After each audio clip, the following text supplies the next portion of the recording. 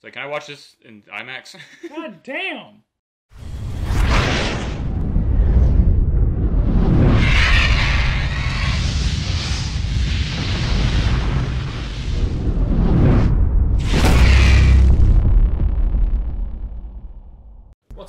YouTube and what up to the Dragon Dragon, Squad? Squad. I am Ember, the Blade, and I'm Glacier, the Iceborne. and we are Reaction, Reaction Dragonz, Dragons. coming to you from the Dragon's Lair. And a quick reminder, guys, if you like the vibe, like and subscribe. Doesn't cost a dime and helps us go full time. Thanks so much for the support, guys. What's on the menu for today, Glacier? We're back at you with the first look of the official trailer of Falcon and Winter Soldier. Falcon and Winter Soldier. Um, hits keep on coming.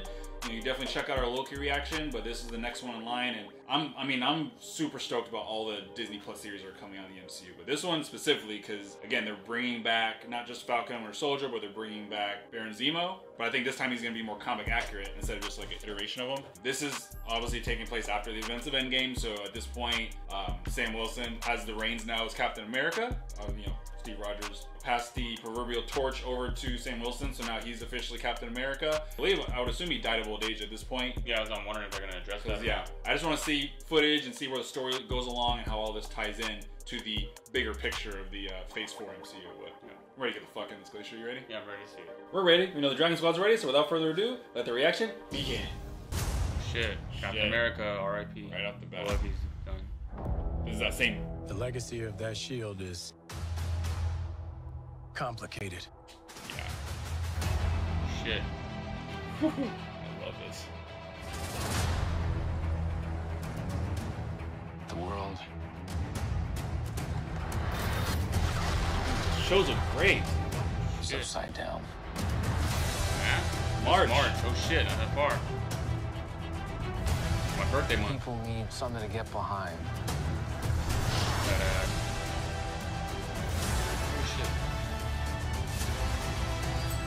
Shit. They need the symbol. Shit.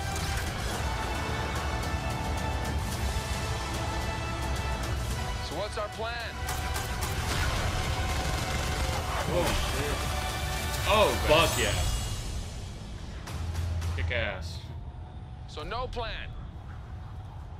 My plan is to have no plan. Great. Ah. Sick. Oh shit. Damn. Look.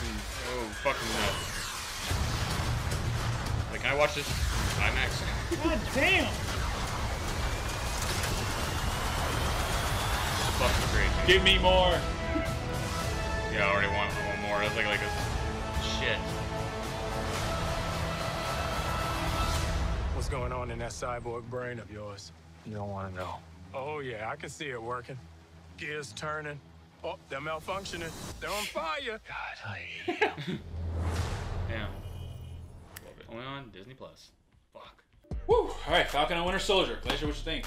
I think it's like when you walk into Publix or Walmart, those places that have the food trays that give you the samplers, and you eat it, you're like, fuck, I want more. Yeah, Um, for sure.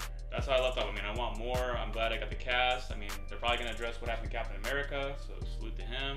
I can't wait, man. And it's like the Disney Plus is like on steroids right now.